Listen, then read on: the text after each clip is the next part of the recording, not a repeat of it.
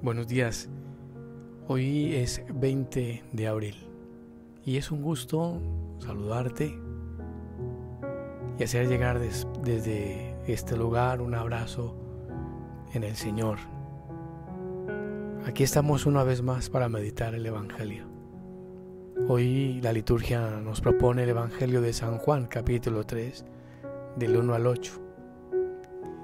En el nombre del Padre y del Hijo y del Espíritu Santo. Amén.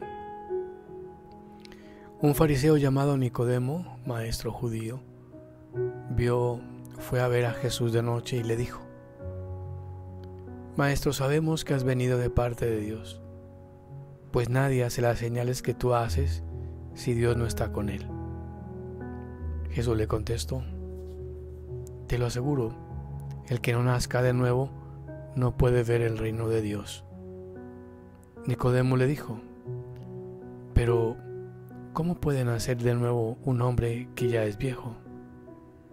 Jesús le contestó, Te lo aseguro, el que no nazca del agua y del Espíritu no puede entrar en el reino de Dios.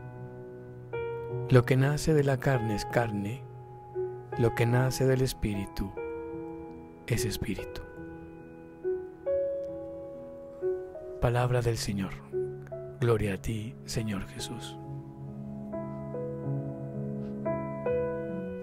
Si describimos un poquito la vida de Nicodemo, pues es un fariseo, es un doctor de la ley.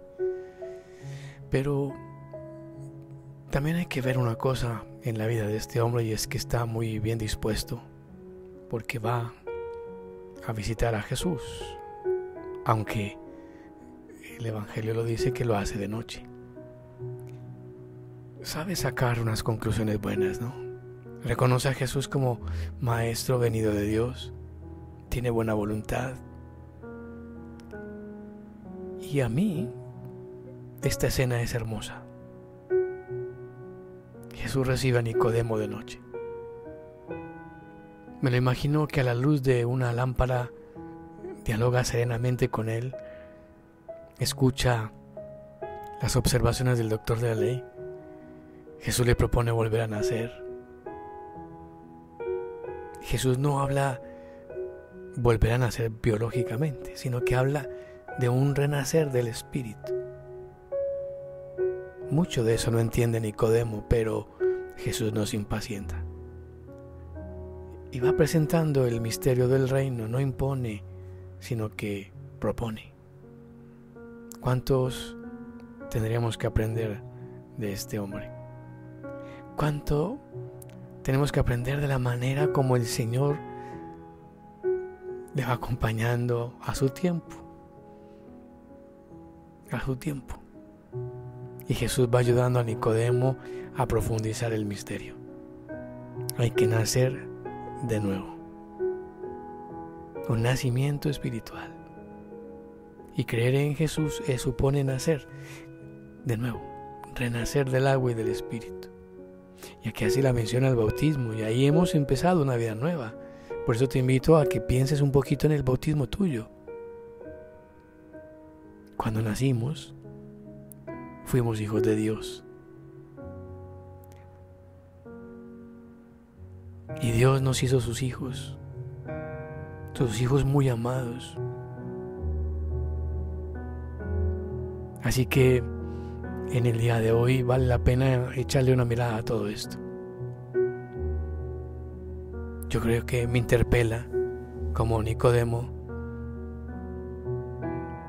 esto del renacer, esto de haber entendido la fe de Cristo como una nueva oportunidad, una vida nueva que se nos ha dado, de vivir la vida nueva de Dios que nos ofrece, o seguramente de conformarnos con vivir como vivimos. Así que nacer de nuevo pues es recibir la vida de Dios. No es como cambiar el vestido, lavarse la cara. No, esto afecta el ser, afecta todo lo que soy.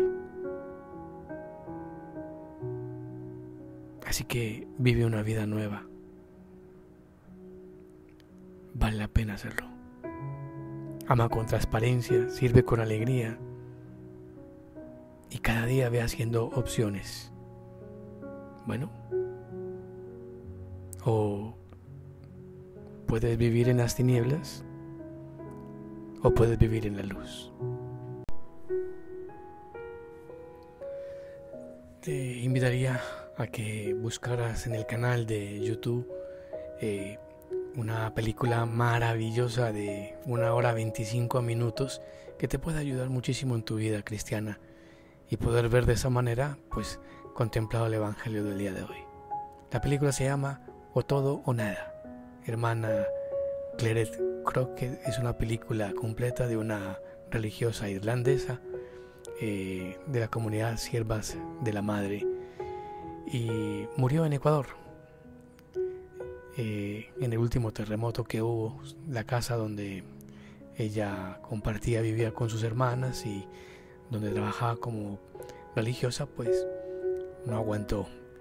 Y pues bueno, vale la pena no contar más, sino eh, dejarles a ustedes pues la inquietud de que ojalá puedas ver esa, esa película, ¿vale?